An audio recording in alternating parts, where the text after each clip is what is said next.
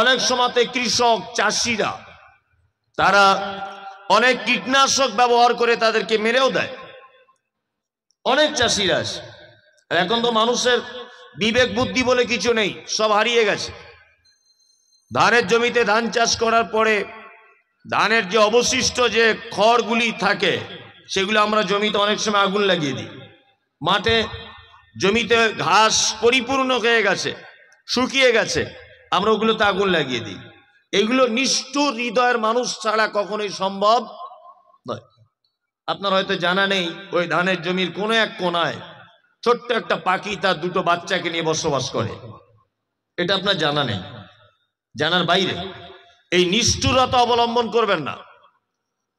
যে কথা বলছিলাম সেটা হচ্ছে এই, পিপিলিকে একটা ছোট্ট প্রাণী, আল্লাহ সুবান কোরআন মাজিদে শুধু পিপিলিকার কথা বললেন না, পিপিলিকার সম্পর্কে একটা সুরা পর্যন্ত অবতীর্ণ করে দিলেন। একটা মানুষের জীবনে জ্ঞানের পরিপূর্ণতা যদি লাভ করাতে চায় সে নিজে, আমি তো মনে করি পৃথিবীর অন্য কোনো সাবজেক্ট যদি অধ্যয়ন নাই বা করে, শুধু যদি কোরআন মাজিদটাই যদি সে তেলাওয়াত করে বা অধ্যয়ন করে ইনশাল্লাহ তার জ্ঞানের পরিপূর্ণতার আর কোনো অভাব থাকবে না।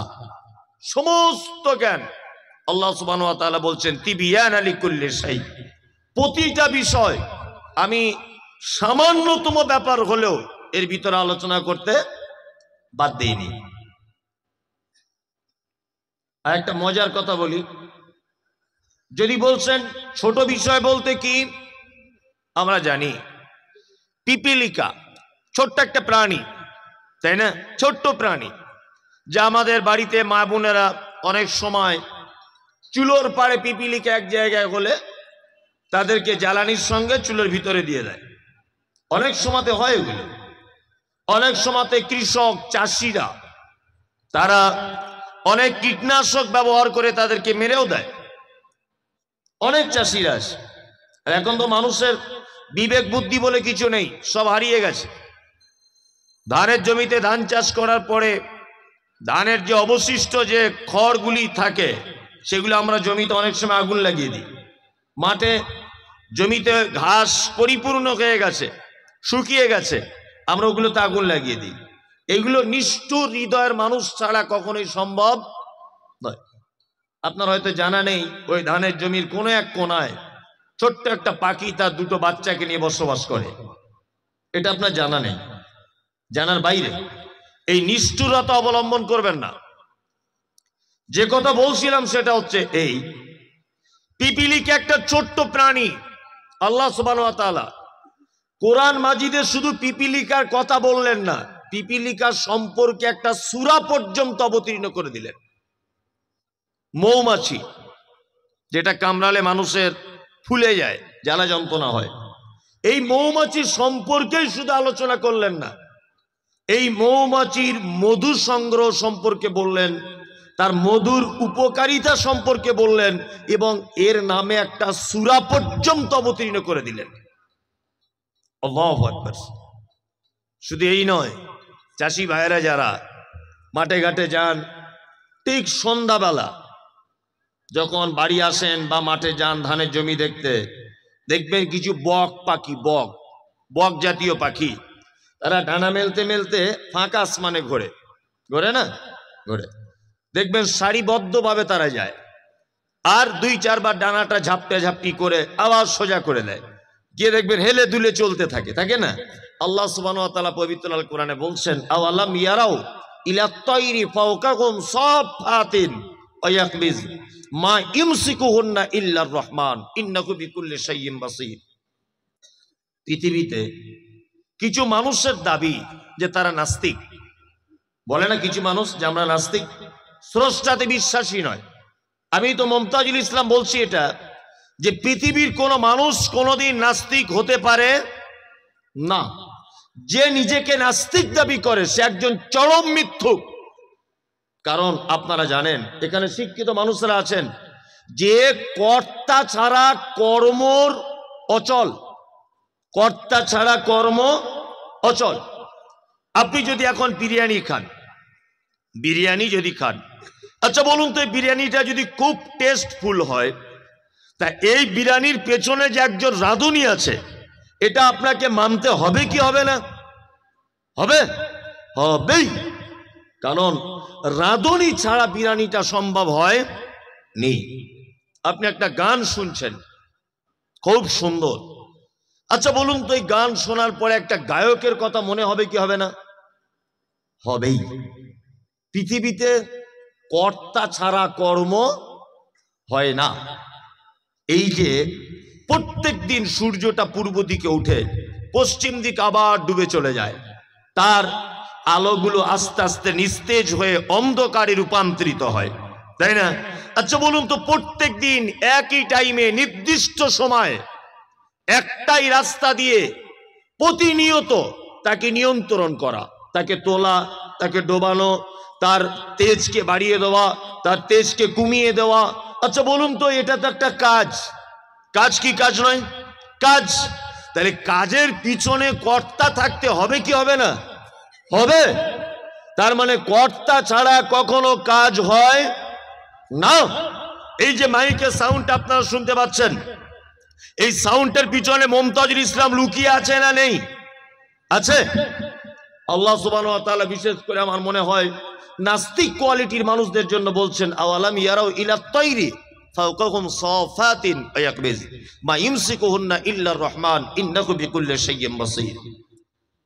তোমরা কি আকাশের দিকে দেখো না?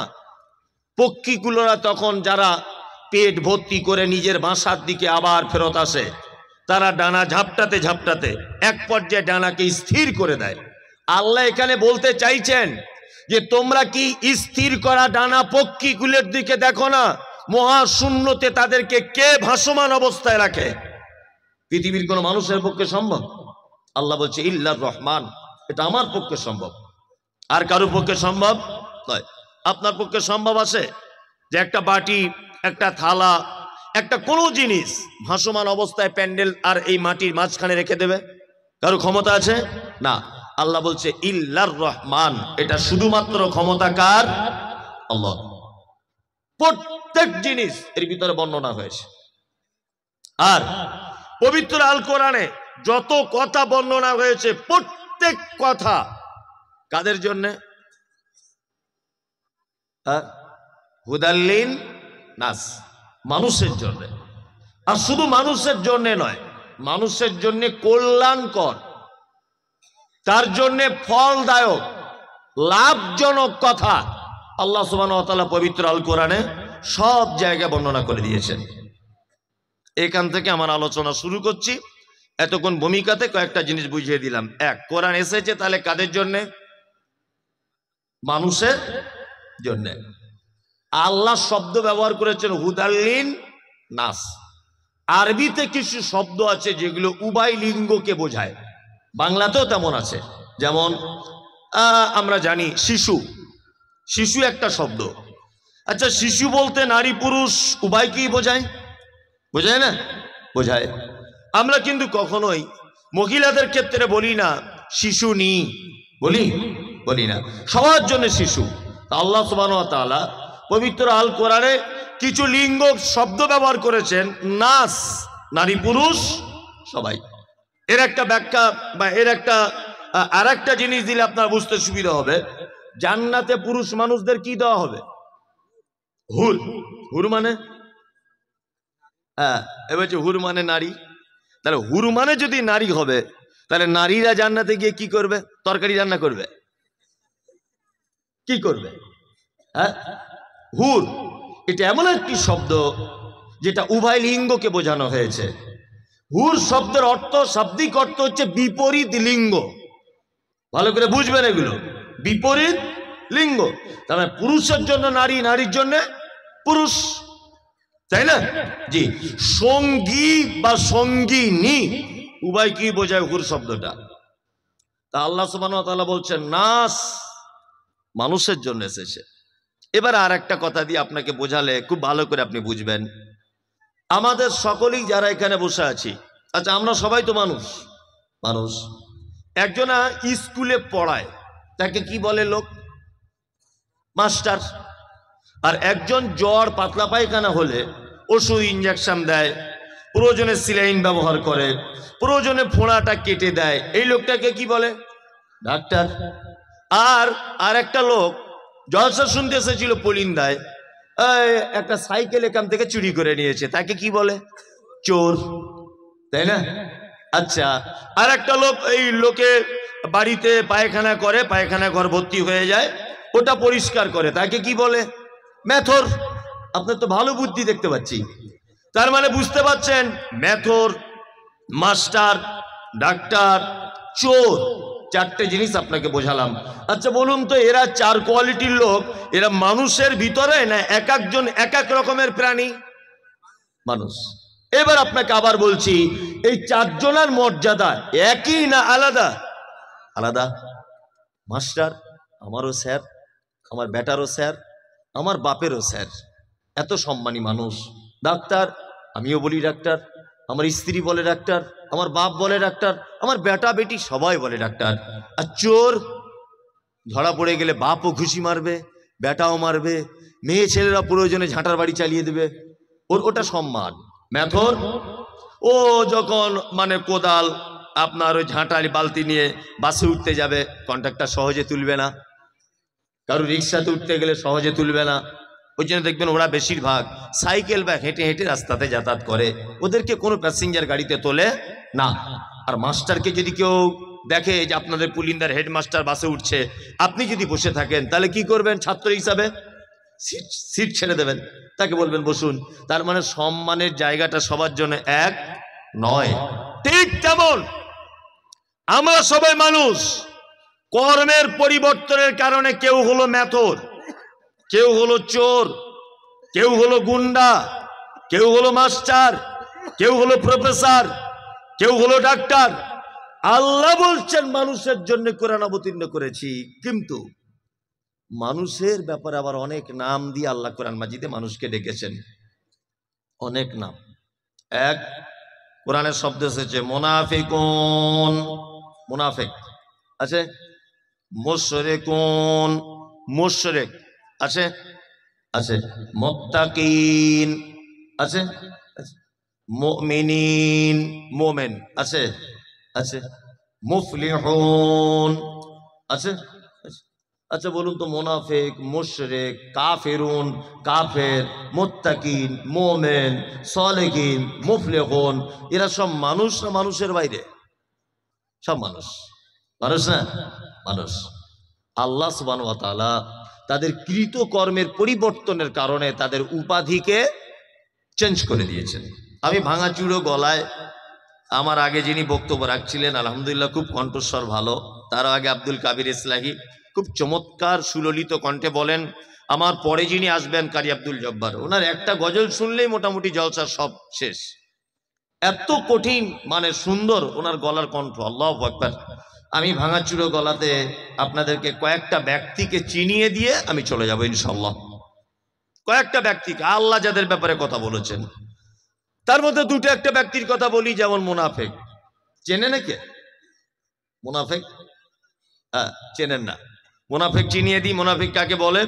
এরা কত খাতারনাক, এরা কত ভয়াবহ, এই ব্যাপারগুলো একটু বলে দিই। আরবিতে আলেমন আমার আছেন, আমার কোথাও মিস হয়ে গেলে আপনারা আমাকে নক করবেন। অবশ্যই, এটা আমি সব জলসাতে বলি। কারণ আমি পড়ে এসে, জেনে এসে, তদন্ত করে এসে, মূলত এর পিছনে সময় দিয়ে তবে কথাটা বলছি বাই সোশ্যাল মিডিয়া শুধু আপনারা পুলিন্দাতে এই যে পাঁচশো লোক বসে আছেন তা নয়, এই মুহূর্তে এখানে এমন এমন চ্যানেল আছে দু চার হাজার মানুষ লাইভে চলে এসেছে। অলরেডি আমারও পেজ চলছে। ওখানে দু চার হাজার মানুষ চলে এসেছে। ওই জন্য আমি এতগুলি সোশ্যাল মিডিয়া এত মানুষের সামনে কালকে হতে হতে সারা বাংলার মানুষ জেনে যাবে পুলিন্দা মাদ্রাসা জলসা হয়েছে। তার মানে এখানে কোনো কথা আমার পক্ষ থেকে বানিয়ে বলার সুযোগ আর নেই। তারপরেও আমি মানুষ, আমার মিস হতে পারে, তদন্তর ভুল হতে পারে। আমরা মোড় মোড় মাথা, মোড়ের মাথা বলি না। যেমন একটা রাস্তা এখান থেকে চলে গেছে বহরমপুরের দিকে, একটা কলকাতার দিকে, আর একটা চলে গেছে আপনার কি বলব, ওই অন্য আর দিকে। এইতে তিনটে জায়গা রাস্তা এখান থেকে বেরিয়ে গেছে। এটা আমরা কি বলি? তিন রাস্তার মোড়। তাই না? যেখান থেকে চারটে রাস্তা বেরিয়ে গেছে, ওটাকে কি বলি? চার, চৌরাস্তা বা চার রাস্তার মোড়। তাই না? এই যে চৌরাস্তা বা চার রাস্তা, আরবিতে এই জায়গাটাকে বলা হয় নিফাক। নিফাক মানে হচ্ছে একই জায়গা থেকে তিন চার দিকে লাইন বার করে দেওয়া। এর নাম নিফাক। মোনাফেককে এই শব্দ থেকে এসেছে মোনাফেক। মোনাফেক হচ্ছে ওই মানুষটি, যে মানুষটি একই ব্যক্তির ব্যাপারে একটাই জবান থেকে দুই তিন রকমের কথা বলে, এ হচ্ছে পাক্কা মুনাফিক। একদম কোথা বাংলায় বলে দিই, তাহলে বুঝতে আরও সুবিধা হবে। ফজরের নামাজ পড়ে ইমাম সাহেবকে বলছেন, আসসালাম আলাইকুম। ওয়ালাইকুম আসসালাম। সত্যি আপনার মতো ইমাম সাহেব হয় না। তিরিশ বছর নামাজ পড়ছি, আপনার ব্যবহার, আপনার কোরআন তেলাওয়াত মনোমুগ্ধকর ব্যাপার। সত্যি আপনার, আমার জীবনে আমি এত ভালো, ভদ্র ইমাম দেখিনি। আপনার কণ্ঠস্বর, আপনার কোরআন তেলাওয়াত, আপনার ব্যবহার, আমরা গ্রামবাসী খুব খুশি। এখন ইমাম সাহেবের ছেলের পাতলা পায়খানা হচ্ছিল, মরে যায় যায় ভাব। ও এখন জোহরের আগে কারোর মোটর সাইকেল ধার করে বাড়ি চলে গেছে। সারগাছিদোর বাড়ি। এখন জোহরের সময় আসতে পারেনি। তা যে লোকটা ফজরের নামাজ পড়ে সালাম করে ওর প্রশংসা করছিল, ওই লোকটা জোহরের সময় এসে দেখছি ইমাম সাহেব নাই। কোনো কারণে বাড়ি চলে গেছে, কাউকে বলার টাইম পাইনি ওই লোকটাই তখন এসে বলছে, সব ভালো। অতিরিক্ত কামাই করছে। চেঞ্জ করে দিলে হয়নি ইমাম সাহেবটা? এ হচ্ছে পাক্কা মোনাফেকে। এ কি? পাক্কা মোনাফেক। ফজরের সময় একই ব্যক্তির ব্যাপারে প্রশংসা করল। আর সন্ধ্যাবেলা এসে বা জোহরের সময় এসে বদনাম করল। হেড মৌলানা খুব ভালো। প্রধান শিক্ষক খুব ভালো মানুষ। এই শিক্ষকটা খুব ভালো। ওই যে আপনার সলুয়া শিক্ষক, ও খুব ভালো লোক। মানে এক কথাতে বুঝে যান মোনাফেক সেই যার মুখে মিষ্টি অন্তরে বিষ খরির সাপের মতো। এ হচ্ছে মোনাফিক